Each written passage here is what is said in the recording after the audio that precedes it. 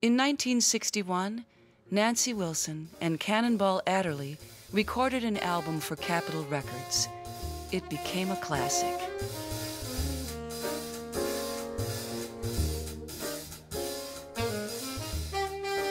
You remember that Saturday morning cartoon? I think it was a, a movie show, a cartoon show, where they would uh, they would do the intro.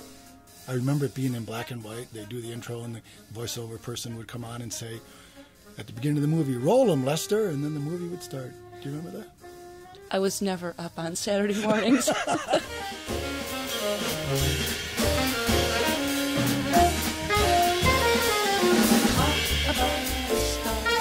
what was what was your favorite song of the night? I have mine. I knew you were going to ask me that. I, that's a very difficult question to answer because I like them all, and I'm not trying to bail on this question. But if forced to answer it, um, this masquerade is over, and Unit Seven when you sang along with the melody. Oh, a highlight because there's so much fun in this music too. And it's great to hear you sing uh, vocalist style without lyrics. Yeah, yeah.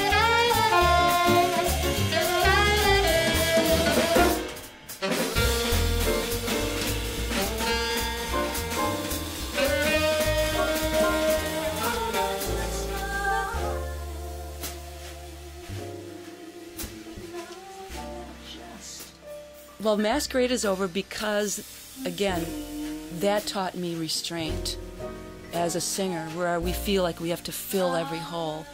And that took me years to be able to duplicate that. And even on that gig, the restraint, the restraint, and then all of a sudden at the very, very end where the note just blows you away. And thank goodness I could sing that note.